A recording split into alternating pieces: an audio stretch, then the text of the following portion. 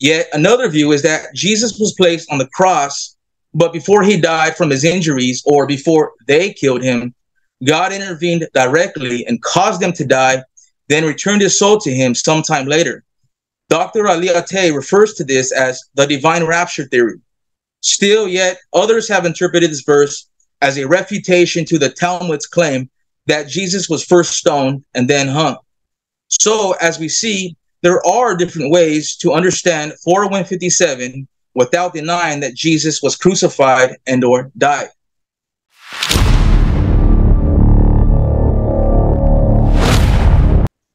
Greetings, good evening, everyone, and welcome back to Blogging Tawheed. Jesus of Nazareth, the Messiah, son of Mary, represents the common link between both Christianity and Islam, having the most followers on earth.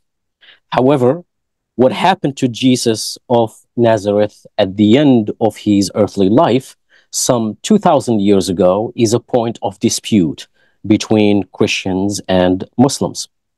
The Christian Gospels, Matthew, Mark, Luke, and John, tell the story about the death of Jesus at the hands of the Romans by crucifixion. Yet the Quran disputes these accounts. My guest and I hope that today's conversation and future conversations as well, inshallah, God, willing, will help all of us understand the significance of Jesus and the importance of his message. Having said that, it's my pleasure to introduce my guest, Brother Al, on Blogging Tawheed. You're most welcome, Brother Al. Thank you. Thank you. Brother Al joins us from California, where he studied Christian and biblical studies at Biola University, which is a non denominational evangelical Christian University in La Mirada, California. The topic for today's conversation is the crucifixion. I will be challenging Brother Al on what is considered to be the historical fact, namely that Jesus of Nazareth, the Messiah, son of Mary, was crucified to death by the Roman Imperium. Brother Al and I have agreed on the format of today's conversation, and it should be as follows 15 minute presentation each, 10 minutes rebuttal each, 10 minutes to question the other person each, and five minutes wrap up our conversation, our presentation each. Brother Al, is there anything you would like to add before you start your presentation? No, everything sounds good. All right, then the floor and the mic are yours. I'm going to mute myself. All right. Well, first off, I'd like to give glory to the triune God of the Bible, namely the Father, the Son, and the Holy Spirit. I would also like to thank Aziz for taking the time to discuss this very important topic. My hope is that after this discussion, he, as well as other Muslims, may come to the realization that they can affirm the crucifixion of Jesus without that belief violating any Quranic teaching. It should be noted that, for the most part, only Muslims deny that Jesus was crucified. So, why is that? Virtually all scholars of early Christianity or related fields conclude that Jesus was put on a cross on orders of the Roman governor. Craig Blomberg and N.T. Wright have rightly stated, quote, no serious historian of any religious or non-religious stripe doubt that Jesus of Nazareth really lived in the first century and was executed under the authority of Pontius Pilate, the governor of Judea and Samaria, unquote. These scholars base their conclusions largely on literary evidence, but this literary evidence is also corroborated by archaeological evidence, such as the bloodstone amulet. Now, whether or not you like the New Testament, the New Testament writings are considered historical documents. I think that's important. All four canonical gospels record a detailed narrative of Jesus' passion. All four gospels are absolutely clear that Jesus, not somebody else, but Jesus, was nailed to the cross. All four gospels tell us that, that Jesus' female followers were eyewitnesses to his crucifixion on the cross. And according to one of these four gospels, Mary, the mother of Jesus, was an eyewitness to the crucifixion. In fact, her presence at the event is attested to in numerous Muslim sources. Now, typically, my Muslim friends will deny what the Gospels say about the crucifixion for two main reasons. One of them is that The gospel authors were not eyewitnesses to the crucifixion. The other reason is that the Gospel accounts contain variations in wording as well as additions and omissions of certain details. But in regard to the Gospels not being written by eyewitnesses, Justin Bass rightly notes on page 27 in The Bedrock of Christianity that in most cases, the historical events we read about are written by individuals many generations later. Likewise, Oxford historian A.N. Sherwin White on page 186 of Roman Law and Roman Society says historians of ancient history are usually, quote, dealing with derivative sources of marked bias and prejudice composed at least one or two generations after the events they describe, but much more often, as with the lives of Plutarch or central decades of Livy, from two to five centuries later, unquote. So, according to scholars, most ancient history is written generations, even hundreds of years after the fact. For this reason, I am in agreement with them that eyewitness testimony is not necessary for an account to be considered historically reliable. In fact, if we demanded eyewitness testimony to substantiate every event in antiquity, we would have to throw out most of ancient history. Now, as for the Gospels containing variations in wording between parallel accounts, it should be remembered that the omission or addition of details from an account does not constitute as a contradiction. The Quran also contains variations in wording between stories which recount the same event. For example, read Surah 780 and then compare it with Surah 2754. Notice, these two accounts retell the same story, yet they contain differences in detail and differences in wording, just like the Gospels do. Yet, no Muslims would chalk this up to a contradiction. So, we need to be consistent in what we see as problematic.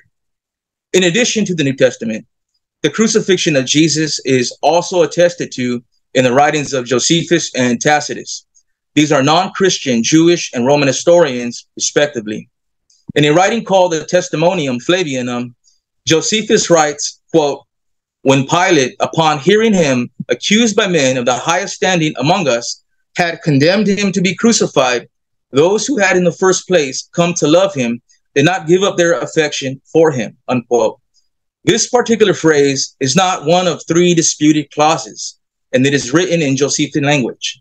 So, with that in mind, there is no good reason to reject it.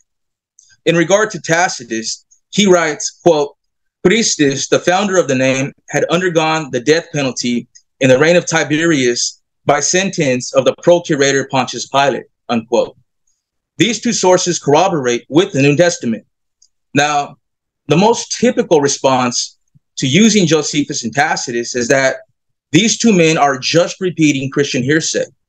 But this notion is challenged by the fact that Josephus was a native to Jerusalem and lived contemporaneously with the original apostles. So, if one believes that Josephus was repeating something he heard from others, the burden of proof is on them to first prove that Josephus didn't come into contact with the original apostles or that he didn't question those who attended the crucifixion themselves.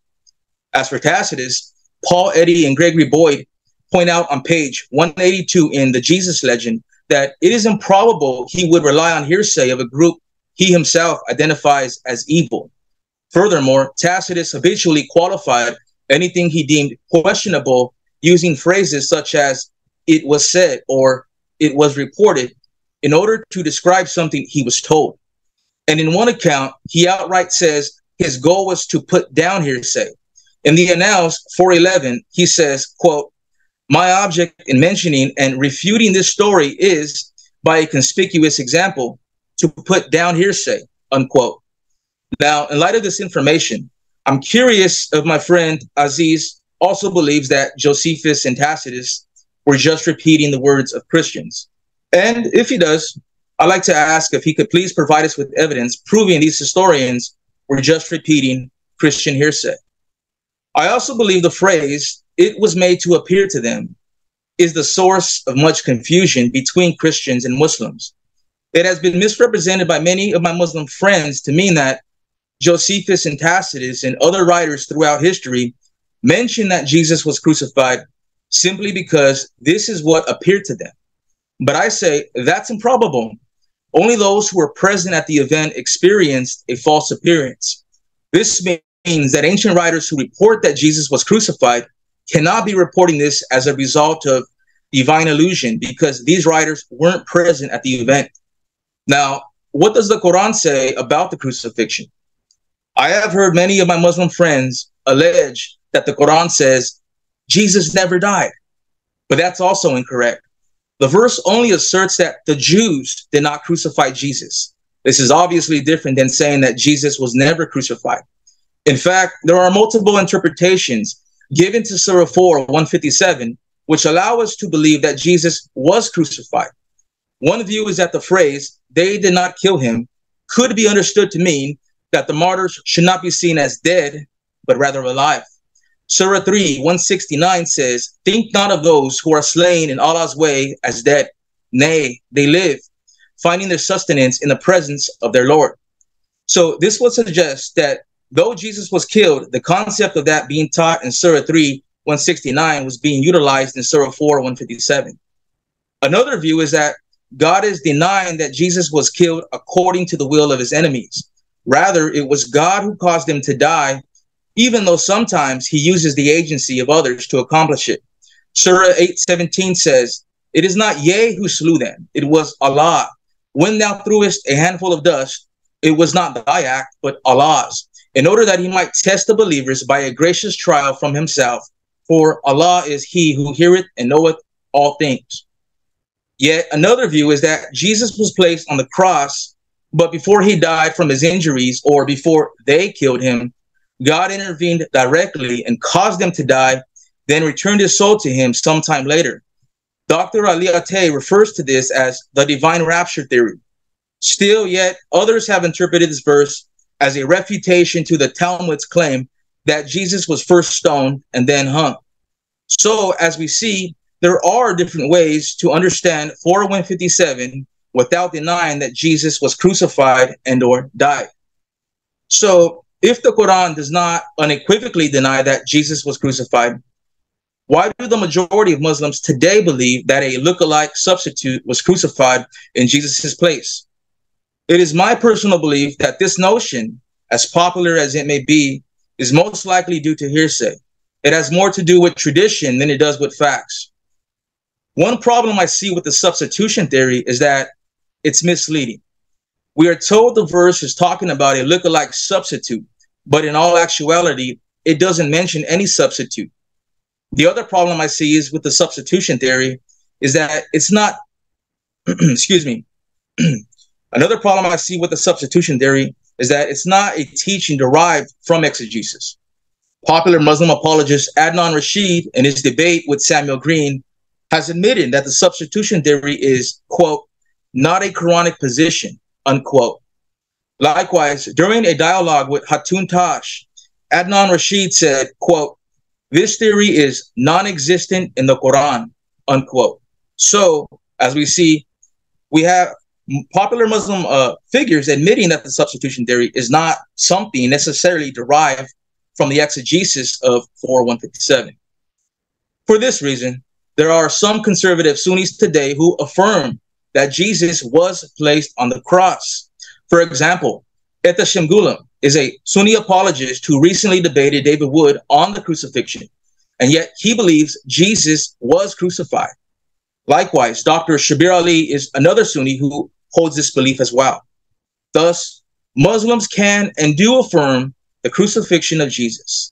With all of this in mind, I ask my friend to be open minded and to seriously consider the validity of the information that's been provided. Thank you.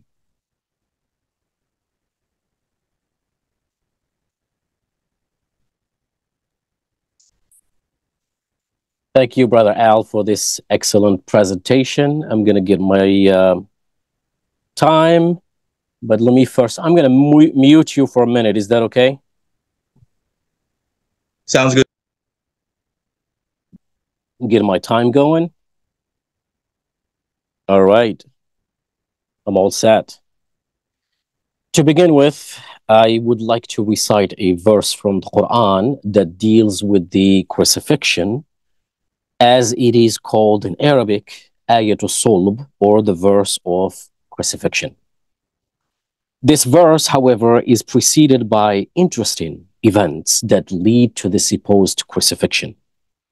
And to do justice to this verse, one must read or recite, in my case, a couple verses prior so that we understand the context, since it's all about the context. And you get a sense of what the author is trying to convey in terms of this particular verse. And obviously, reading it in Arabic language is not the same, since the translation of the meaning does not really convey the message from a linguistic perspective. Allah subhanahu wa ta'ala, God the Almighty, glory be to Him, says in the Quran, and I will be translating the meaning as I recite these verses. أعوذ بالله من الشيطان الرجيم يسألك أهل الكتاب أن تنزل عليهم كتابا من السماء فقد سألوا موسى أكبر من ذلك. فقالوا أرنا الله جهرة فأخذتهم الصاعقة بظلمهم ثم اتخذوا العجل من بعد ما جاءتهم البينات فعفونا عن ذلك. وآتينا موسى سلطانا مبينا.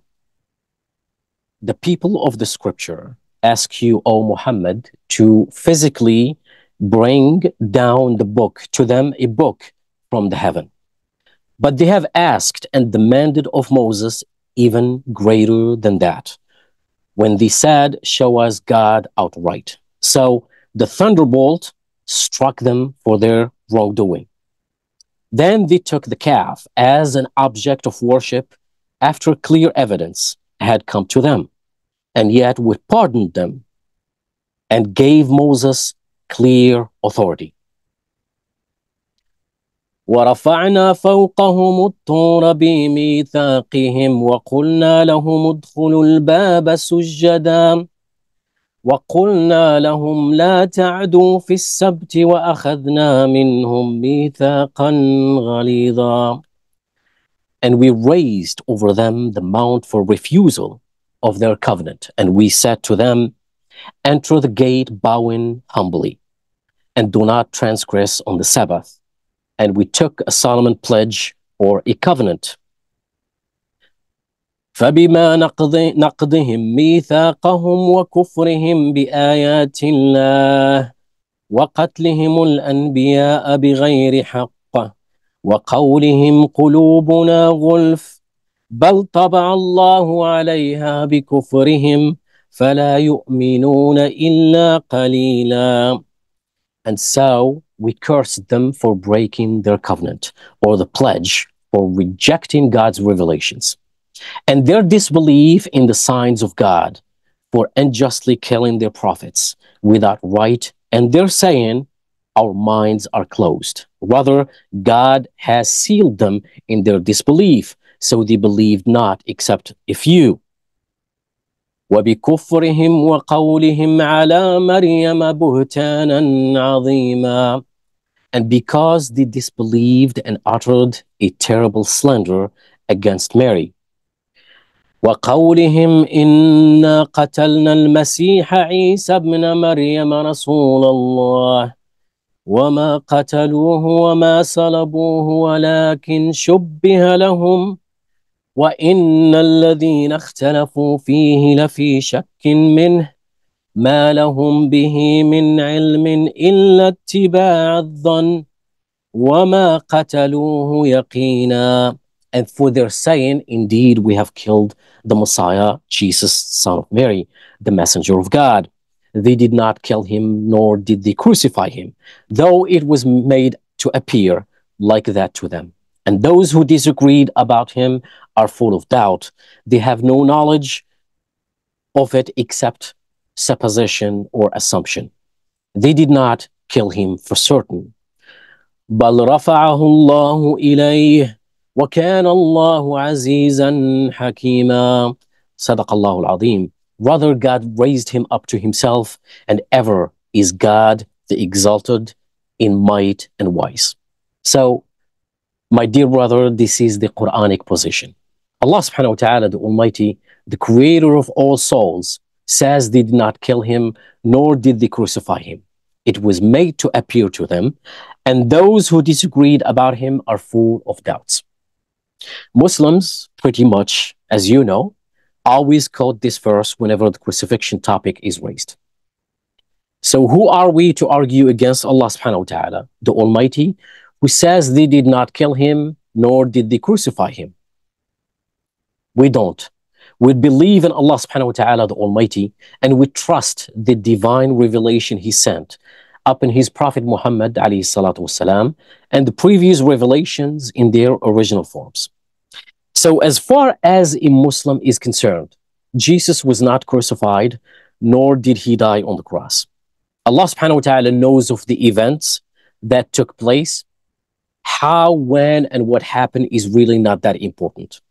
And I think this is the best Muslim position regarding what happened at the crucifixion. My Christian brothers and sisters, however, not all Christians, find it quite shocking and surprising when they first come across this verse, and that is the Quran's clear denial of the crucifixion of Jesus, which is found only in one verse in the entire Quran. And in many people's eyes, especially in the West, this verse discredits the Quran. How can we take this alleged revelation seriously? which denies the historical evidence when we have the four gospels written by eyewitnesses which clearly testifies to Jesus was crucified. We have the apostle Paul, a disciple of Jesus who clearly states that Jesus was crucified. So the Quran surely must be an error when it denies that Jesus was crucified. This is the kind of, you know, reaction we get from our Christian brothers and sisters. Now, I would like to take a couple minutes and focus briefly on something that is something that is often overlooked whenever the topic of the crucifixion is raised before I come back to the verses I recited. So while the doctrine of the crucifixion and redemption is central to Christianity, the Islamic worldview has no problem with a martyred prophet and miraculous resurrection. We actually don't have an, any issue with a prophet who gets tortured, crucified, and martyred by the very same people he was sent to. After all, John the Baptist, a mighty messenger of Allah subhanahu wa ta'ala, was martyred by his own people. And in the parable of the hamlet in ruins, the Quran mentions the uh, resurrection of a man after a hundred years, which is mentioned in chapter 2, verse 259.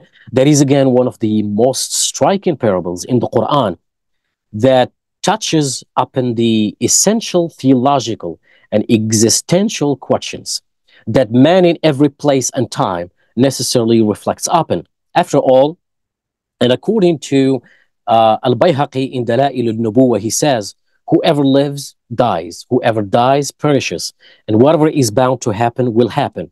Everything is mortal. Immortality lies only with the Almighty, who is one without partners, without a like.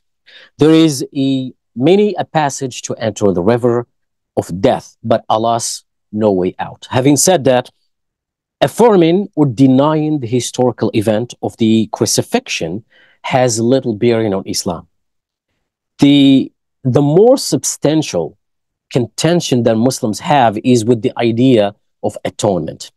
Muslims believe that they, we, they, they will bear consequences of their own sins unless forgiven by God the Almighty, the most compassionate or forgiving. The sins of Adam is not inherited by those who did not commit it. Presumably, those between Adam and John, the Baptists were simply expected to worship God the Almighty and live an ethical life. Muslims see no need for this to change with the Messiah, Jesus, son of Mary. So the idea of a human sacrifice absolving the past and future sins of humanity is simply contrary to what the Quran teaches and what Jesus, Moses, Abraham, and the previous prophets' teachings. Putting an innocent man to a brutal death on the cross, rather than simply forgiving mankind out of divine grace, goes against the sensibilities of Muslims. This concept is so dangerous. It creates enmity between humanity, and forgiveness becomes conditioned by the so called sacrifice. If God demands blood sacrifice to forgive, humans would require the same. Why would I forgive you, my brother, out of my goodness if God Himself could not forgive out of His mercy? You see? Now, back to the crucifixion verse, which you already spoke about it as well, which has largely been understood by both Muslims and, in some ways, more interestingly, by Christians as a denial of the historical and to many irrefutable facts of the crucifixion of Jesus. And obviously, such a doctrinal position serves as a great obstacle separating us, Muslims and Christians, on the grounds of belief. The interpretation of this verse has been the subject of vigorous debates between Christians and Muslims for centuries, partly because many Muslim commentators offer different theories concerning this verse. Yet, all agree that Jesus did not die on the cross. And I know you mentioned a couple things that uh, some Muslims, like the Ahmadiyya, we don't subscribe to the Ahmadiyya. Ahmadiyya, actually, they are outside of the fold of Islam. Anyhow, some of these theories come from Christian apocryphal sources in the second century, which is ironically speak loudly of the substitute theory before the advent of Islam. Now, the vast majority of the followers of Islam do hold that Jesus, in fact, was not crucified, but remains alive with God in a spiritual realm from where he will descend at the end of time in an Islamic version of the second coming. There are always other ways of interpreting this verse that historically have been offered as possible readings. My opinion is, as a linguist, the Arabic text reads وَمَا قَتَلُوهُ وَمَا صَلَبُوهُ وَلَكِنْ شُبِّهَ لَهُمْ So they did not kill him, nor did they crucify him, but it appeared to them. The key here is not the qatl, is not the killing, or the sulb, the crucifixion, but the verb shubbiha that comes from tashbih. Allah subhanahu wa ta'ala did not say, وَمَا قَتَلُوهُ وَمَا صَلَبُوهُ وَلَكِنْ اشْتَبَهَ لَهُمْ So in linguistics, شبه يشبه تشبيها فهو مشبه والمفعول مشبه or the object uh, pronoun. So شبه لهم means لبس اختلط عليهم and عدم التمييز meaning I will explain in English language meaning they were confused about him and they argued amongst themselves. They were not sure if that was Jesus or not. And this is actually what comes after God says they did not kill him nor did they crucify him but it was made to appear to them. Then God says, وَإِنَّ الَّذِينَ اخْتَلَفُوا فِيهِ لَفِي شَكٍّ مِّنْهِ And those who disagreed about him are full of doubt. Now, why did they argue and disagree about who was crucified? And this is the reason I lean towards this theory of substitution or look like Jesus. Historically, Judas, uh, I only got a couple minutes, so I'm almost done with my presentation. Historically, Judas betrayed Jesus and he was leading the Romans to Jesus. But somehow, Judah at some point was transformed by God the Almighty into the appearance of Jesus, who the authorities subsequently crucified. This is also confirmed by the lost gospel that Judah was weeping hysterically, knowing he was going to be crucified. And he kept telling the Roman soldiers, I am Judah, I am not Jesus. And they kept saying, okay, whatever. So the behaviors of Judah made them suspect something fishy, something does not add up. Jesus did not cry except when praying. Now, Jesus, the alleged God or Son of God, is weeping hysterically. That's why the Quran says, وَإِنَّ الَّذِينَ اخْتَلَفُوا فِيهِ لَفِي شَكٍّ مِّنْهِ And those who disagreed about him are full of doubt. They doubted if the person on the cross was Jesus. Also, the body of Judah is then stolen from the grave, leading to claims that he, who everyone allegedly thought was Jesus, rose from the dead, resurrected, and ascended to heaven. And something here uh, to close my uh, my statement, something here for interesting for anyone who wants to dig deeper into Judah personality is that according to historians, Judah looked a lot like Jesus. Even Leonardo da Vinci's Last Supper mural painting, which took years to be completed, he admits to having struggled to make a distinction between Jesus and Judah because historically they looked alike. The other theory is of a disciple of Jesus. Jesus asked his disciples at the Last Supper who would take his place on the cross and be rewarded paradise, meaning the likeness of Jesus would be put on one of Jesus' disciples. And one of them, uh, some say the young, the youngest one, said, I am all messenger of God this concludes my presentation. I'm going to go ahead, mute myself and unmute you, and you go ahead with your um, rebuttal. All right. Well, one of the things that was mentioned was that in the Islamic worldview, that there is no problem with the idea of a prophet being uh, crucified or martyred, and I agree. The Quran admits that many prophets were murdered. Uh, for example, Todd Lawson rightly says, "quote a distinctive characteristic of Quranic prophethood is the unremitting opposition that greets those upon whom it is bestowed. That this opposition frequently ends in the murder of a prophet is well known, e.g., Surah 261, 287, 291, 321, 3183, and 4155, unquote. So I agree. There would be nothing strange with the notion that Jesus died unjustly at the hands of the Jews, like so many prophets before him did. One of the things you also alluded to is that this could be believed if Muslims disassociate the salvific nature of the cross. So I think that if Muslims can come to that understanding, dialogues between Muslims and Christians can go a lot further. Another thing that was mentioned was that 4157 is a denial of the crucifixion. But as I pointed out in my opening statement, I don't I don't agree and I don't believe that the verse is denying that Jesus was crucified. I believe that contextually speaking, the plural pronoun they is referring to a particular group, and that the verse is saying this particular group did not do this and that. But this doesn't mean that Jesus was not crucified, full stop. And as I pointed out in my opening statement, there are Sunni Muslim scholars who have put forth some interpretations of 4157, which allow you to interpret that verse, having the, coming to the conclusion that Jesus was crucified and or killed. Uh, for example, I mentioned that Dr. Ali Ataie uh, holds to or how to this divine rapture theory, where he says 4157 could be uh, understood as Allah taking Jesus' his soul, causing him to die, so that the enemies don't get credit. And then a few days later, returning the soul to Jesus, therefore reviving him back. Uh, it was also said that some early Christians believed that Jesus was not crucified.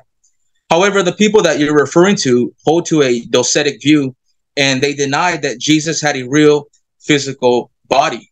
But denying that Jesus had a human nature is actually a denial of one of the core Christological beliefs. So referring to the Docetists as Christians would be similar to referring to uh, polytheists as Muslims. No one in the right mind would say that someone who believes in many gods could be considered a Muslim. Likewise, I would say that no one who denies that Jesus had a human nature could be considered a, a Christian. You also made mention about the Old Testament, and you did say that some of the prophets in the Old Testament or the prophets that came before Jesus uh, didn't hold to this blood sacrifice. However, I would point out to you that if you read the Old Testament, all the prophets in the Old Testament did mention that God required a sacrifice. And if you read Leviticus 16, there was a day, one special day between the year where the two goats were sacrificed. And this was to make atonement for all the Israelites, for all the people. So we see that although it's not a one-to-one racial parallel, it is a type and shadow which pointed to Jesus' coming and his ultimate sacrifice, which he gave for us. And yes, as a Christian, I do believe I do believe that the death of Jesus on the cross carries a salvific uh, significance with it. But for this, for the purpose of this debate, I am hoping that my Muslim friends will see that one can come, one can uh, read the Quran and come to the conclusion that he was crucified without that belief being compromised or without having for you to feel like you are compromising a Quranic uh, teaching. You also mentioned that Ahmadiyas do believe Jesus was crucified, but that you don't consider them uh, true Muslims. However, I actually mentioned not the Ahmadiyas, but I mentioned conservative Sunni scholars, uh, namely Dr. Shabir Ally and Dr. Ali Ataie. And both of these Sunni scholars do hold to the belief that Jesus was put on the cross. I know Dr. Ali holds to the swoon theory, and I think the swoon theory has its own major problems with it. But I'm pointing them out to show that even conservative Sunni scholars who do believe in what the Quran says do interpret Surah 4 157, and they come away with the conclusion that you could read it and believe that Jesus was crucified, and that there is no problem or no conflation with that as far as other beliefs are concerned. So far, those are all the points that you mentioned during your uh, opening statement. I'm pretty sure in your rebuttal period, you can uh, hopefully mention some things I said about possibly Josephus, possibly uh, Tacitus. I think that to reiterate, these two historians are often thrown under the bus, often ignored. They're often said they're just repeating hearsay. However, if it's not the case that Josephus and Tacitus are repeating hearsay, and if it's not the case that what they write about Jesus on the cross is not the result of a divine illusion, then you have multiple attestations, or specifically these two sources added to the New Testament, corroborating with the New Testament. So, in addition to the New Testament, you would have the writings of Josephus, the writings of Tacitus. I didn't bring up Lucian in my opening statement, but there is evidence to show that he too mentioned Jesus was crucified and that what he writes is coming from an independent tradition, not from Christian hearsay. And so once you take these sources, we recognize that, well, I believe personally that I can believe Jesus was crucified because his death is multiply attested in sources. I also believe he was crucified because certain passages in the New Testament which speak about the crucifixion also meet the criterion of embarrassment. For example, in Mark 8, Jesus mentions and foretells his disciples of his uh, upcoming death. However, Peter says, No, Lord, far be that from you. And then Jesus ends up rebuking Peter and calling him Satan. This would have been seen as something embarrassing to the early church. So there are passages throughout the New Testament pertaining to the crucifixion that meet the criterion of embarrassment. And lastly, I also believe that the crucifixion of Jesus could be affirmed due to the fact that it's the argument for best explanation. The explanatory scope of the crucifixion is well attested. I think it's the best explanation given the data that we have that offers the least amount of uh, troubleshooting, the least amount of jumping through hoops, trying to make sense of the other data that we have. And so I, I, addressed everything so far that you mentioned. And uh, I know I have time left, but I'm gonna defer my time right now, my friend, and I look forward to what you have to say and to speaking with you in the cross examination. Thank you. All right, let me set up my time.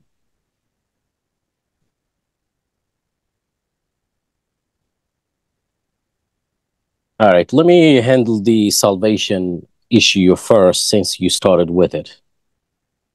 Um, there are three things that may be said with certainty when it comes to the Quranic teachings. The Quran attaches no salvific importance to Jesus' supposed death. In other words, how Jesus died or not, and the fact that he died or will die has no significance for salvation for Muslims or anyone else is irrelevant. So it doesn't really matter how he died according to the Gospels. Salvation is not dependent on his death in any way at all. And I know that you mentioned uh, salvation through the Old Testament, and I will respond to that later in the questioning. So similarly, we see this reflected in the earliest Gospels, Matthew, Mark, and Luke, where people have received forgiveness and salvation from God based on the grace and mercy of God, and also their own repentance, and nothing to do with anyone dying on a cross. The Quran, firstly, attaches no significant importance to his death. Secondly, it doesn't mention his resurrection on the third day and has no need of it as a proof of God's power to raise the dead.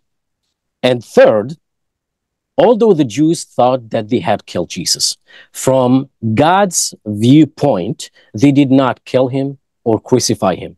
Beyond this is the realm of speculation. The verse I recited earlier indeed contains an ambiguous denial of Jesus' death by crucifixion.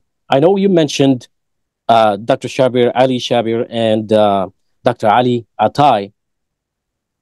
I, I don't think you listen to these people closely. What Dr. Ali Ataie um, speak about is the theories that the Muslims have debated for years, for centuries. But they all agree and I said, as I said earlier, that this verse could be translated in many forms, but they all agree that Jesus did not die on the cross. So when we come to the Gospels and Paul's letters, biblical scholarship today have come to the overwhelming uh, consensus that they're not written by eyewitnesses. And I'll tell you later why eyewitnesses are very important, because you mentioned Josephus and I'll, like I said, I'll leave it to the questioning. So Matthew's gospel, which is traditionally thought to be by the apostle Matthew, a disciple of Jesus called Matthew is not. It is anonymous. If you look at your Bible and you read, I have many, if you read the gospel, it doesn't say who the author is, and it doesn't read like an eyewitness testimony. An eyewitness would typically speak in the first person occasionally.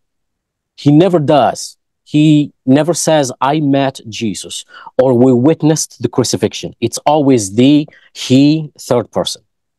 Mark doesn't claim to be eyewitness either, and Luke is not an eyewitness. He's a companion of Paul and John. Again, who is this John? Because the crucifixion mainly is mentioned in John, right? The conclusion is even by conservative scholars that the Apostle John is not the John that is intended to be the author of that gospel. When we come to Paul, well, Paul never knew Jesus. He never met Jesus in his lifetime. He had a vision on the road to Damascus, a vision that, in one account, the people with him did not see. So he had an invisible vision that only he saw. My brother, if you want to take that as a solid religious foundation for Christianity, so be it. But it's not a great basis. What my Christian brothers and sisters are not aware of is that Paul was an enemy of Jesus. This Jewish persona violently opposed Jesus' teachings, yet the Christians made him a saint. So, what I'm trying to say is we don't actually have an eyewitness testimony in the New Testament and even in Mark's gospel. The earliest gospel we have said that all the disciples, um, the apostles, scarpered, run away, and the women viewed crucifixion from a distance. So they saw something that was a long way off that they thought was the crucifixion of Jesus. And that ties in actually to what the Quran said. It appeared to them that he had been uh, crucified, although he was not crucified. In fact, it's impossible. The Quran's claim, if you take the majority position that he was not crucified, is impossible to refute. Because if it was made to appear to them, the Jews, that he was crucified, how could anyone deny that he was crucified? Because history reports it appeared to them that he was crucified. So, of course, history, of course, reports that he was crucified. So, ultimately, it comes down to who you trust. What is the four gospels if they are not the words of Jesus or his disciples? What is the Quran if the Quran is the actual speech of God, the revelation of God, the Almighty Himself, then it has some inside knowledge. It knows what really what's really going on. He can say it appeared to people, but in fact, the contrary was the case. He can say it with authority. We can say that absolutely without any contradiction because it's from God the Almighty. And if this claim is written by a seventh century Arab dude from Arabia, then of course you can dismiss it as an opinion uttered centuries after the first century by someone who couldn't possibly know what really happened and indeed had no reason to doubt the Christian claim. So at the end of the day, one cannot empirically prove the Quran wrong um, it comes down to a matter of faith. If you believe the Quran is the word of God, it claims to be the word of God, it's up to you to decide if it is, then you accept what it says is impossible to disprove because history cannot disprove historical research, cannot disprove the statement that it appeared to them, to people in the first century, that Jesus was crucified, though he was not. Now, how would you investigate that? You only have four Gospels and Paul's letters, and they're not even by eyewitnesses or his testimony in a way. And I would go further and say, from a theological perspective, while the Gospels remain the Christian's only resource uh, for information about the resurrection, crucifixion, and resurrection of Jesus, the question is are they the kind of sources historians would want when trying to establish what probably happened in the past at the cross in Jerusalem? I think the answer to that question is no. When were the Gospels written? Well, one thing for sure, they are not contemporary to the events they narrate. Scholars still debate when the Gospels were written, but by far the most common dating are that Mark was written sometime around 70 AD. Luke and Matthew about 10 or 15 years later, around 80 or 85 uh, AD. Uh, John maybe around the year 90 or 95. These are the dates that are taught throughout the universities and divinity schools and seminaries all over the world. And I do think them to be close or about right for many reasons. And I think you did study uh, biblical studies, and you would agree with me that this uh, this Gospels dates are almost correct. So as you can see, it is a complicated argument if these dates are correct. It means that the earliest account of Jesus' resurrection, uh, res uh, crucifixion or resurrection is 40 years after the event. 40 years is not an eyewitness.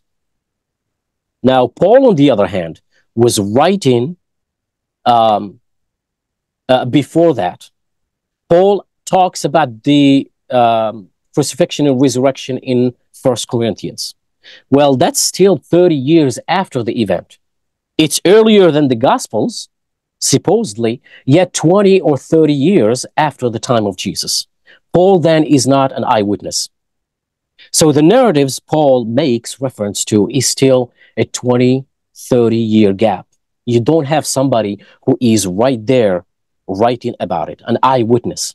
Because in the court of law, an eyewitness or two or three is required as evidence for judgment and conviction. It would be laughable if you tell the judge, according to Paul, according to Matthew, according to Mark, according to Luke, and according to John. These figures are anonymous, according to the Bible itself. So telling the judge in the court of law that according to Anonymous, the Romans crucified Jesus will get you thrown out of the court. And another point that I would uh, I, I would make, and I always make this point, I challenge all biblical scholars all over the world to prove these authors were eyewitnesses. Paul himself indicates that he was not an eyewitness, and none of these gospel writers was an eyewitness. People, of course, call them the gospel books of Matthew, Mark, Luke, and John because we don't know who wrote these books. I mean, they're written by people, we don't know who they were. And by thee, we mean anonymous. You might not think so just because they have the title, the Gospel according to Matthew. Uh, whoever put that title on it was an editor later. The original books are all anonymous, written in the third person. And moreover, and I'm almost done with my rebuttal, the followers of Jesus were Aramaic speaking peasants from Galilee, lower class, lower class men who were not educated. In fact, Peter and John in um. Peter and um, and John in chapter um, in Acts chapter four verse thirteen are literally said to be illiterate. They couldn't read and write, and of course not. They were fishermen. They did not go to school. The vast majority of people in the ancient world never learned to read, let alone write, and their native language was Aramaic. These books are written in Greek by highly educated, rhetorically trained writers who are skilled in Greek composition, not disciples, and don't claim to be disciples. So, where did these authors get their stories from? Well, if they were not disciples of Jesus, and they were not, they must have heard the stories circulating from somebody who heard the stories from somebody who heard the stories from somebody. Stories about Jesus, including his resurrection, had been in circulation year after year, century after century, you know? And people told stories that Jesus was killed and got raised from the dead to convert people. So the more the story got complicated, the more they improved the story. And sometimes they even changed and modified the story. Um, these stories are based on oral reports that have been in circulation for decades. And you know what happened to oral reports in circulation year after year, decade after decade? They get changed. So, what evidence do we have that the stories about Jesus' death and resurrection got changed? You can read the stories yourself. Simply read Mark's account of Jesus' death and then read John's account of Jesus' death and make a list of everything that happens in both and complete your list. You will find that there are stunning differences. In fact, there are discrepancies. I could give you examples, but I think my time is up.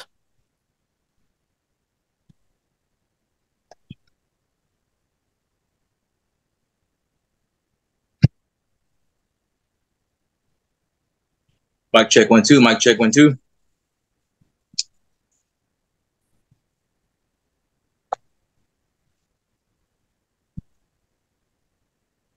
Uh, can you hear me, my friend? Yes, sir. I can hear you. So uh, now is uh, 10 minutes question time? Yes, sir. All right, let me know when my, I'm going to question you, correct? So let me know when my time can begin. Yes, yes, go ahead. Go ahead. All right. Uh, do you believe Tiberius Caesar was a historical figure? What year was he a witness of the crucifixion? uh, ir- irrespective uh, of his witness. Yeah, his reign was from uh, about 14 AD to uh, 37. But I'm just asking if you believe his uh, Tiberius Caesar was just a historical figure. He was a historical figure, yes. But was he? I'm sorry. You should be questioning me, not not vice versa. Go ahead. No worries, no worries. Um, are you aware that our information about Tiberius comes from sources that were written 80 to 90 years later? Correct you're aware of that. So if you notice, historians accept the information that we have, even though the only information that we have comes 80 to 90 years later. So do you see how these historians do not require eyewitness testimony in order to find these historical reports uh, reliable insofar as Tiberius is concerned? Well, I disagree. Historians require um, eyewitnesses testimonies to to make their claim solid. Otherwise, there are many historians that lived through, throughout centuries that said things about Jesus that were not true. So that's why we always go back to was the historian or the person eyewitness. Okay, so you believe Tiberius Caesar was the historical figure, but you believe that the information that we have you recognize comes 80 to 90 years later, correct? That's correct. 80 to 90, and, and you say it yourself, 80 to 90 years later. So there is a huge difference between the first century and 90 years later. There is a huge gap. So there are a lot of things that can be changed during this gap. Right. And my, my point is to show you that the information that we have from these sources that come 80 to 90 years later is all we have to rely on and what we know about uh, Tiberius Caesar. And yet, this information is deemed valuable and useful, and almost no scholars uh, dispute the information that we have tells us accurately what we know about uh, Tiberius Caesar. Um, are you aware that the account of General Hannibal leading an army of elephants across the Swiss Alps was recorded by a Roman historian many decades after the event happened? Correct. Okay. So the historian was an eyewitness to the event. Um, do you, uh, which tafsir, if any, was written by an eyewitness to the crucifixion? What do you mean by tafsir? The Muslim exegetes, like um, uh, Ibn Kathir, um, which Muslim exegete in their tafsirs, uh, if any, was an eyewitness to the crucifixion? None. And I agree with you that Islam came almost 700 centuries after the event happened. Okay. Uh, was Muhammad, I know what you're going to say, but I still got to ask. No, you. you're fine. You're good. You're good. Was Muhammad an eyewitness to the crucifixion? No, sir. Okay.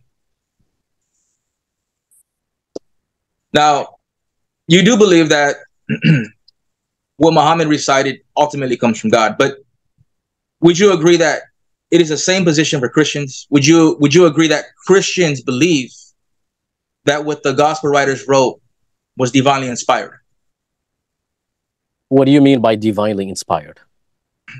That it ultimately comes from God. Do you believe that this is a Christian belief? This is what Christians believe. Uh, yes, I do believe if that's your question. Yes, I do believe that's what questions believe that the Bible is uh, uh, inspired. Yes. Okay. Um. Now, you had mentioned this, and I had brought it up in my opening statement. But a Muslim by the name of um Paul Williams, um, him and other Muslims, uh, like Rumsey, they have mentioned that the phrase it appeared to it appeared to them that he was crucified. So for that reason, we find these reports throughout history, these historians making these references to Jesus crucified. They make that report because this is what appeared to them. And you actually brought that up right now in, in, in your rebuttal. Now, my question to you is how could, well, who is the plural pronoun referring to? It appeared to them. Uh, contextually, who is it referring to? It does refer to the Jews. To the and, Jews. Okay. And and one so thing and one thing it, it couldn't be mind, referring to Yeah, and one thing if you don't mind, it appears to them is actually not that's why I explained the verse from a linguistic perspective. Huh? Mm-hmm. Because the the English language is really um, it, it, doesn't give, it doesn't convey the message. It appeared to them is the best, um, the best, you know, version you can say. It appeared to them, but in their in Arabic language, it says there is a likeness. It appeared to them that it was Jesus, but it was actually somebody that looks like Jesus. You know what I'm saying?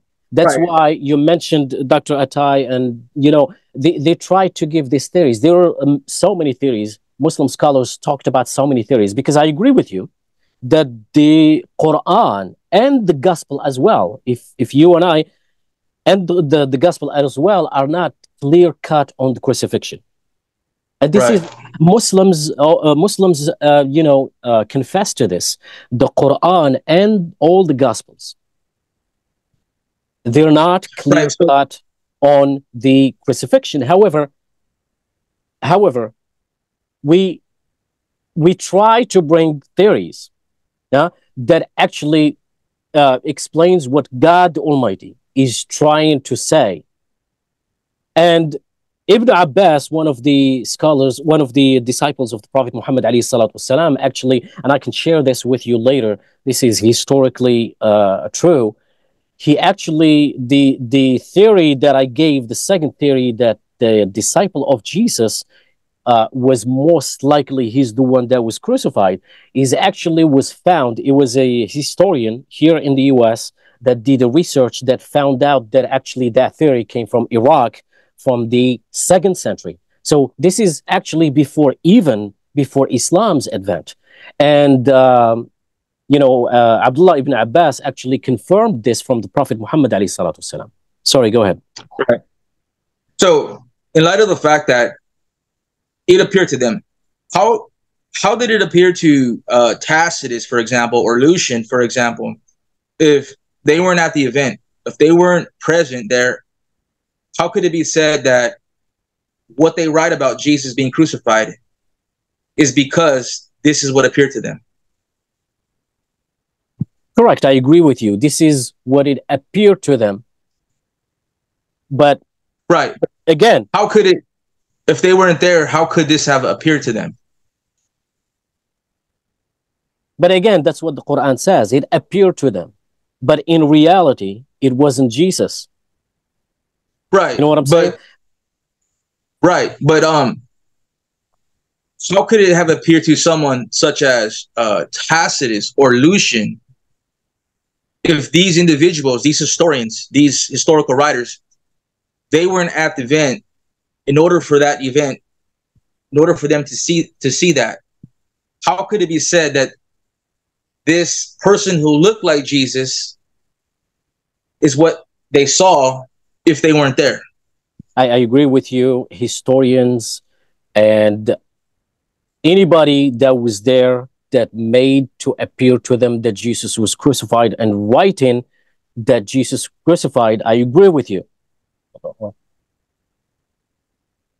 Right. However, uh, well, however, however, we do have, we do have first century disciples after Jesus was raised to heaven.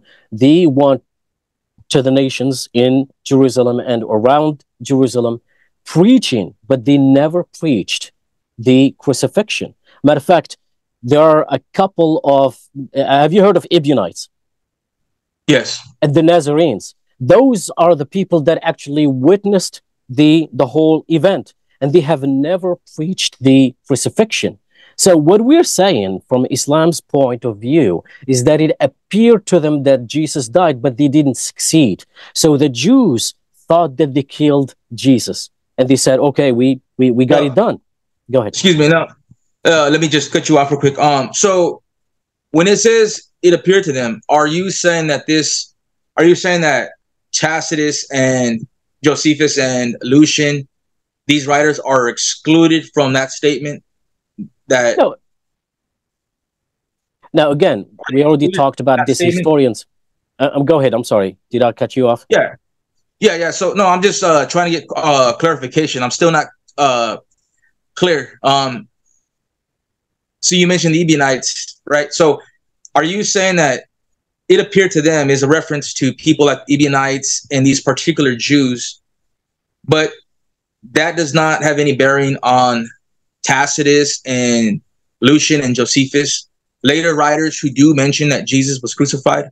Well, does the verse does the verse pertain to people like Tacitus and Lucian and Josephus, or doesn't?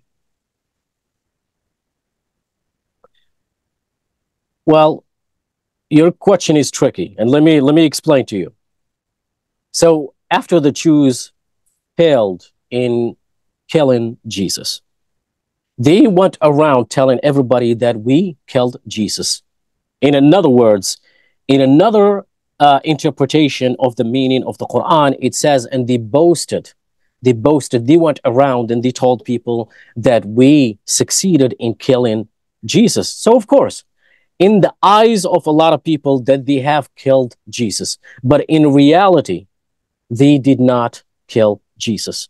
And the people that were around in the event, I mentioned the Ebionites, they actually knew who was crucified. And even among the Jews, the ikhtalafu means they had a they had they differed among amongst themselves. Some said we crucified him, some said we did Aziz, not crucify did- Aziz, did the Ebionites did they know this from um witnessing this or because they heard it? No, no, no. Th- these are witnesses, and and I hold on. And I advise you to actually go look into the Ebionites and Nazarenes.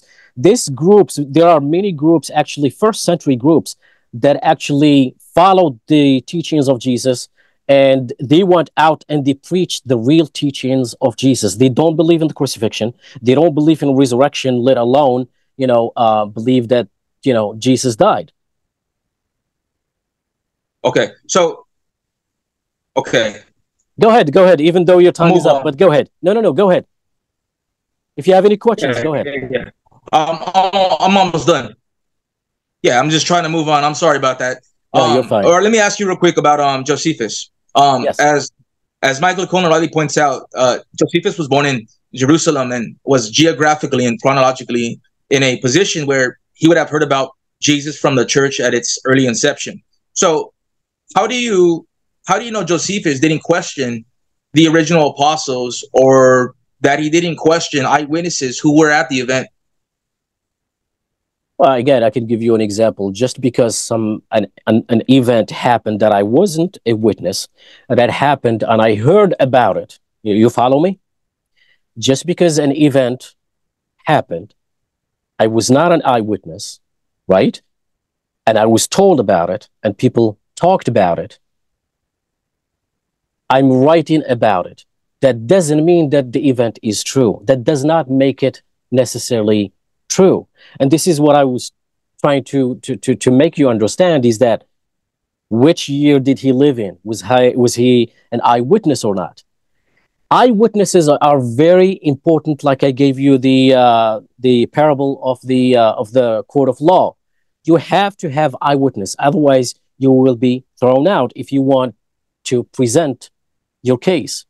But without eyewitnesses, unfortunately, throughout this presentation, I gave you that even the Gospels, even Paul himself, none of them are an eyewitness. So therefore, we're left with really nothing from the Christian standpoint. Well, as I mentioned, I don't believe that eyewitness testimony is uh, necessary in order for an account to be considered historically reliable. All right. Um. So give me an example. No, uh, it's okay. Give me an example. Just give me an example of why we don't need uh, eyewitnesses. Well, I think that it's something that is desired, but historians come to the realization that most ancient history is not recorded by eyewitnesses. And so, if we demanded eyewitness testimony for every event that happened in antiquity, then we would have to throw out most of ancient history. And like I mentioned, um, right. So as I mentioned with um, and I have a list right here too of other examples, but most simplest, the most simplest ones, the popular ones, like um, General Hannibal leading the army of elephants across the Swiss Alps. Again, it was recorded by a Roman historian many decades later, right? And that's the earliest source that we have for it. He wasn't an eyewitness, yet almost no historian doubts doubts that that actually took place. Okay. And so our historical reports are, are flooded with examples where these sources are telling of an event that happened many, many years before, and the person recording it was not an eyewitness. And yet historians don't dispute or deny the historicity of these events. So what I understand from what you're saying is that history can prove the resurrection. Is that No, I'm talking about the crucifixion. correct? If history cannot prove the crucifixion, how can history prove the resurrection? Well, I would say that there's there's there's a vast amount of evidence attesting to the crucifixion. And I'm saying that I don't rely or necessitate eyewitness testimony the same way that uh, historians don't, in the same way that even you, as a Muslim, you don't require eyewitness uh, testimony. But there are things that are mentioned in reports that we still believe and we still deem as historically reliable despite the fact that they're not written by eyewitnesses. Well, we agree to disagree. I'm going to move on with my questioning. If you're ready, have you have you ever heard of the sign of Jonah? That is yes. That is mentioned in Matthew, I believe, 12 verse 38, uh, and it's also mentioned in um, I believe 12 39 um, in Luke as well. Matthew 16, yes. Correct. So, what do you think the miracle of Jonah was? The miracle of Jonah was the disappearance and reemergence three days later. That was the sign. In fact, Jesus actually, he specifically tells you what aspect of Jonah's story he was alluding to. He says, So will the Son of Man be in the heart of the earth for three days and three nights. So he Jesus qualifies what aspect of the story is the sign. And it's him going down and then reemerging, which is a reference to uh, his resurrection. Okay, so Jonah, you know the story of Jonah, right? Was he alive in the Correct. belly of the whale or was he dead? Uh, scholars dispute that. I think there's uh, good evidence that Jonah was dead. So how come that he came out live from the uh, the belly of the whale? Well, he went down, and then God heard his prayer, and then God revived him to continue with his mission. God Exactly. initially called him. Yeah, so so God initially, when He called or commissioned Jonah, it was to go and to preach to them this message. Initially, he tried fleeing from God, but that didn't happen. But Okay, so you basically, said- God just So you God said basically God. God Go ahead. I'm sorry. No, no, no. Go ahead. No, I'm finished. I'm just reiterating the point. Okay, so you said God heard his prayer. Correct. All right. So why didn't God hear the prayer of Jesus when he prayed? Why did he forsake him? I believe that God did hear his prayer. As you well aware that uh, or, in Orthodox Christianity, we do believe that Jesus had two natures. And in light of the fact that Jesus repeatedly foretold and prophesied his upcoming death, for example, in Mark 8, uh, Mark 9, and Mark 10, um, I believe that that specific account or instance, Jesus is speaking in his humanity. And if you read the account in Luke, his his prayer seems to be answered because it says immediately an angel appeared and he strengthened him. Okay. Now, was Jesus resurrected physically and made spiritual, uh, uh, meaning immortal, angelic, or just physically like Lazarus? Uh, can you clarify that? So You mean Jesus- physically? You mean you mean Yeah. physically without So physically physically and made spiritual. No, I believe that Jesus was uh, resurrected physically, but with a glorified body, as mentioned in First Corinthians 15. So you, are you agreeing then with Jesus in Matthew 28, verse 30, in Mark uh, 12, verse 25, and also in Luke, and like you mentioned, Corinthians 15, that resurrected bodies become spiritualized? Is that that that's where you're going, right? No, it doesn't say uh, spiritualized. That's a misinterpretation of the Greek word. It talks about receiving new glorified bodies. But as you as you read the accounts, like for the example, when you read in John or you read in Luke, Jesus actually showed his disciples the wounds in his hands and in his feet and in his side. Uh, in John 20, 25, he says, Look, and he showed him the wounds in his hands. Luke Okay. makes mention of the wounds in Jesus' So- feet. So it was a physical body, it was a glorified body, but it wasn't spiritual in the sense that it was a So what you're saying-.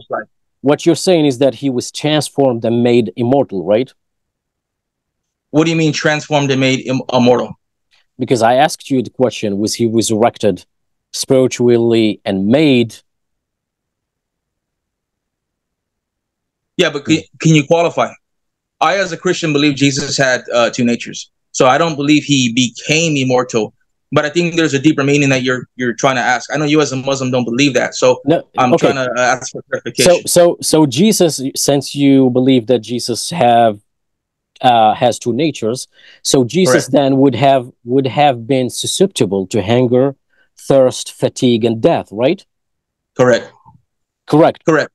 Yeah. So did you know that being transformed and immortalized is the same as being spiritualized?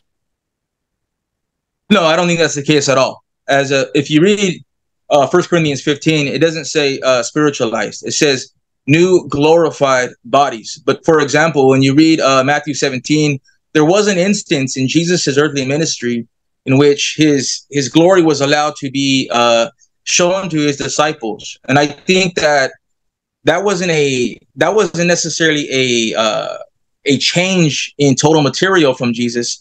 So I believe that when Jesus was resurrected, as First Corinthians 15 says, the body that he now has is a physical body, but it's a glorified body. I don't believe that it's referring to something that's pure spiritually or um, anything like that. So, what do you mean by glorified? Are you meaning spiritualized? Uh, what do you mean by spiritualized? When you say well, spiritualized, it, it could denote something like a ghost or a, a phantasm, and I, I don't grant correct. That. So correct, because yeah, you alluded you alluded to that in you know when Jesus appeared to his disciples right. after the resurrection.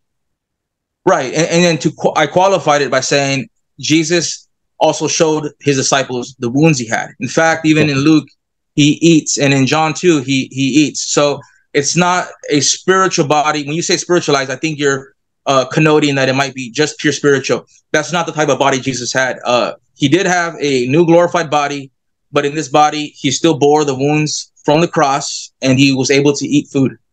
Okay, so why then would a an immortally resurrected Jesus, um, a need to have the stone at the mouth of the sepulchre rolled away and have his linen sheets unwrapped?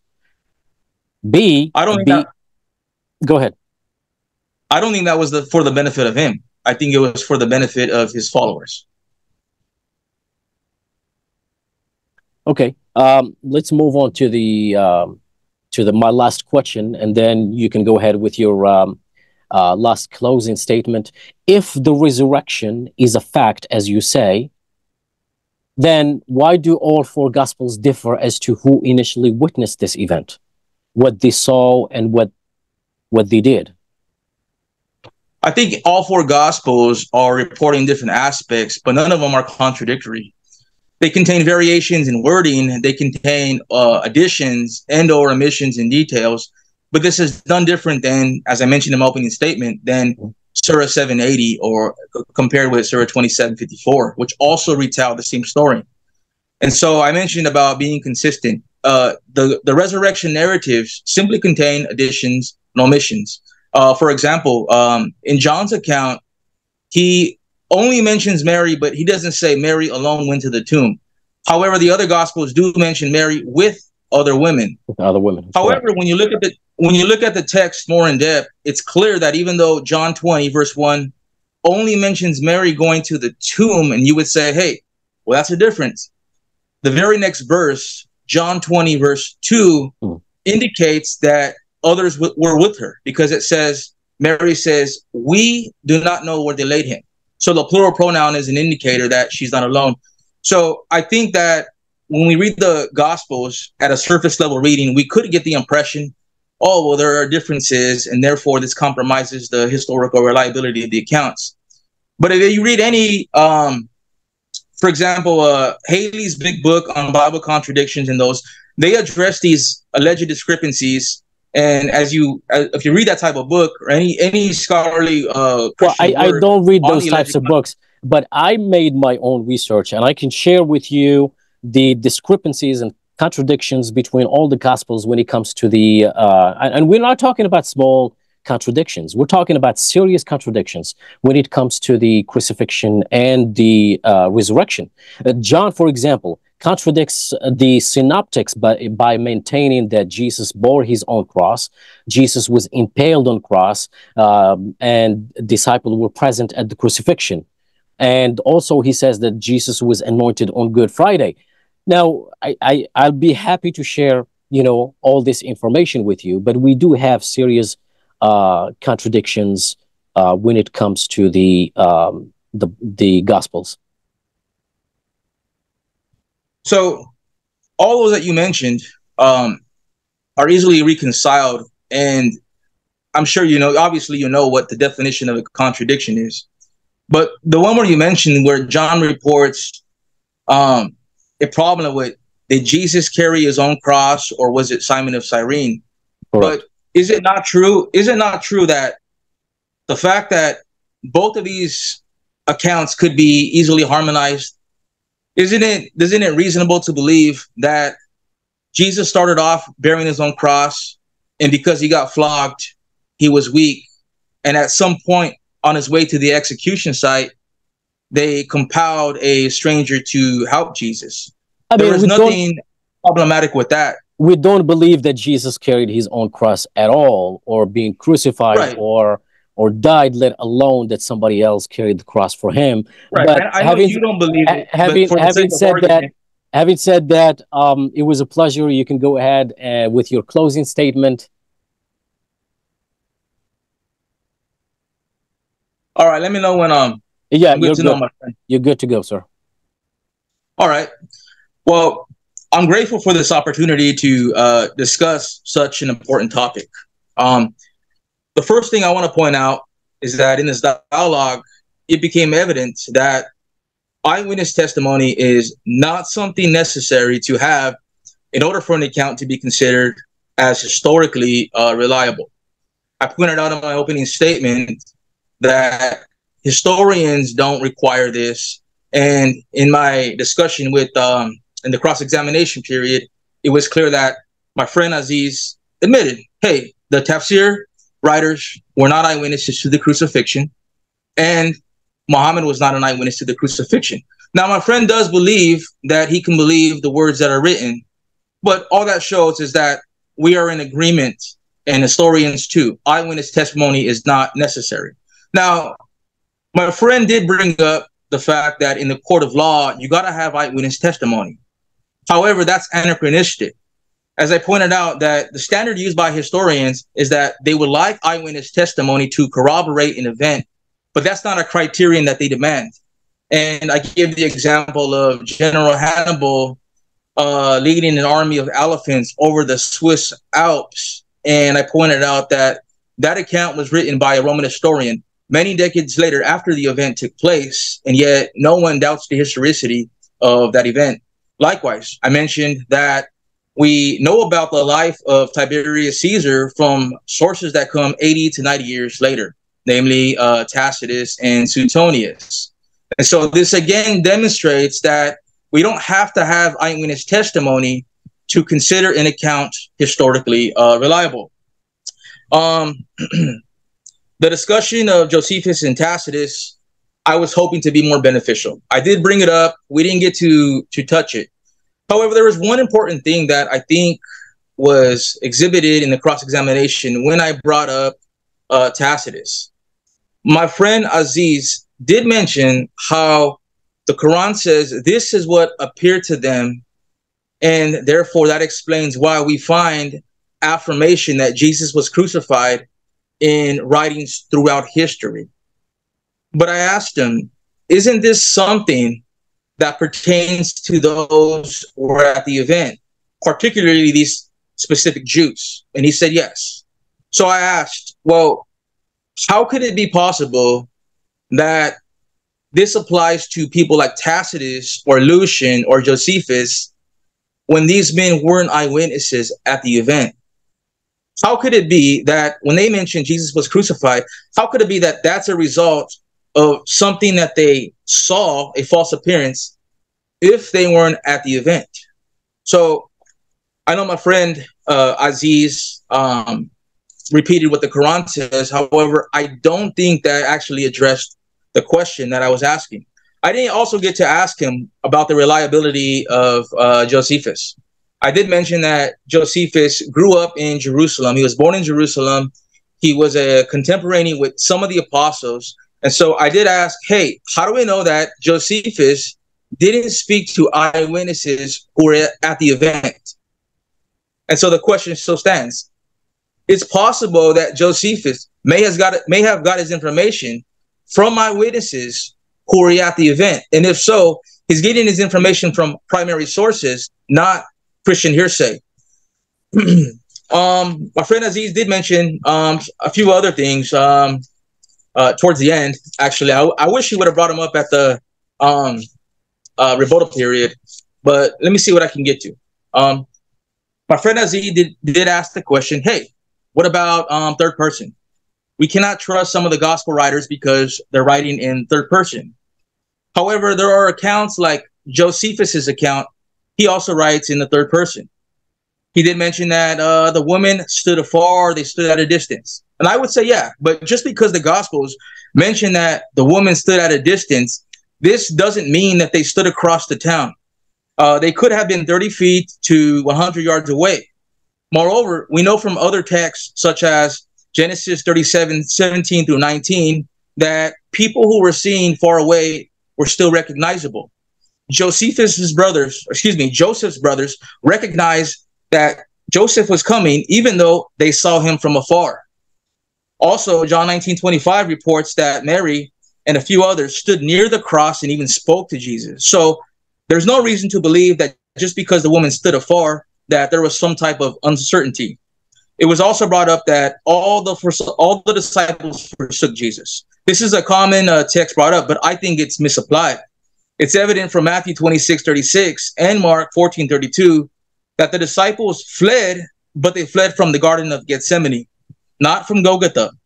Also, this scattering took place the night before the crucifixion, not during the afternoon of it. Furthermore, we are told in other texts, such as John 18 15, that even though some of the disciples fled after initially fleeing, some of them returned and came back. John 18 15 says, Simon Peter followed Jesus, and so did another disciple. So this text doesn't prove that no one knows what happened to uh, Jesus' crucifixion. And re- in regard to the author, what's John authored it? Uh, I can see to the fact that there is scholarly debate as to uh, which John authored this gospel, right? Uh, I, I don't have any any problem with that. But for the most part, some people like Lydia McGrew and uh, Lauren Zalek have heavily defended the notion that this particular John is John the son of Zebedee. Other candidates that have been put forth are uh, Lazarus. He's called someone whom Jesus loved. Um, John Mark has been put forth as a candidate.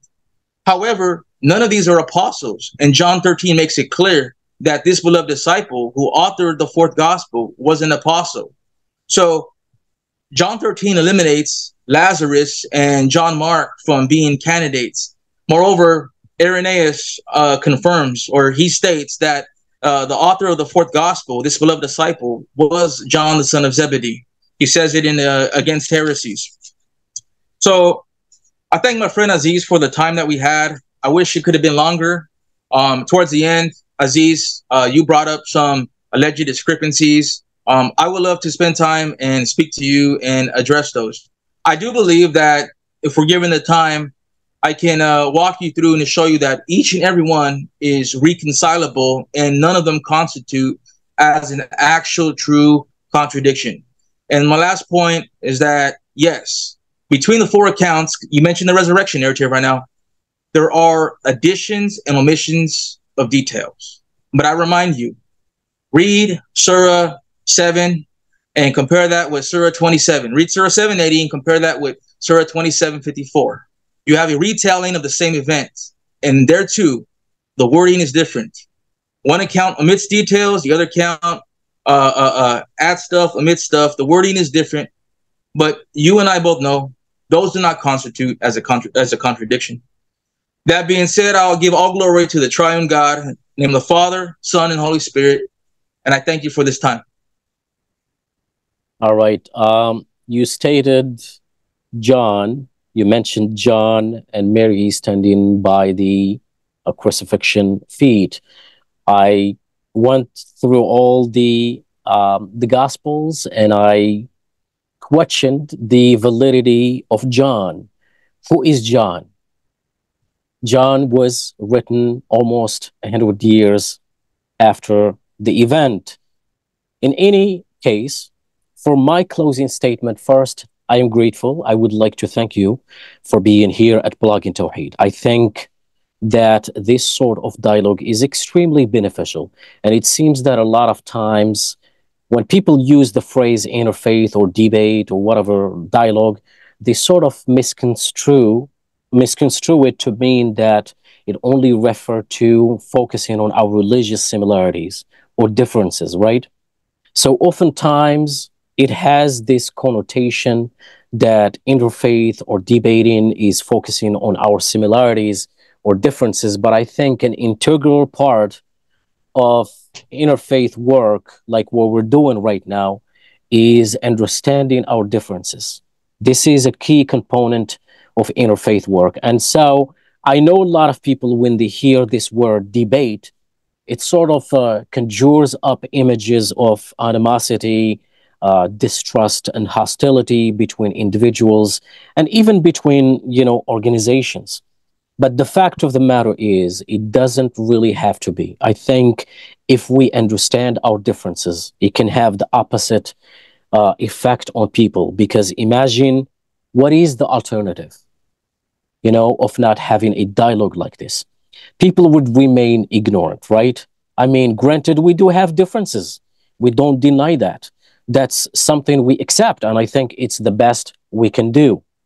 See, um, we have differences in nature and in life in general that we overlook on a daily basis. The difference of the day and the night, like the Quran says, اختلاف الليل والنهار, the difference in vegetations and fruits, the difference in our tongues, our skin color, and within ourselves. Yet, all of this creates a bouquet of colorful, beautiful flowers that represents humanity.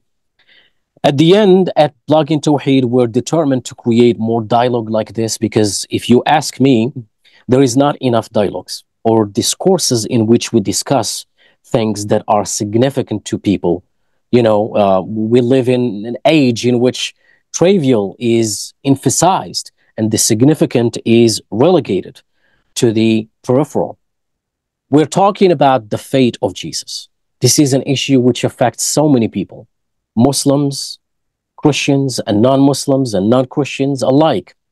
So I think it's healthy and it's good to talk about these things and understand our differences. I enjoyed the conversation and I had the pleasure speaking with you. I wish it was too long.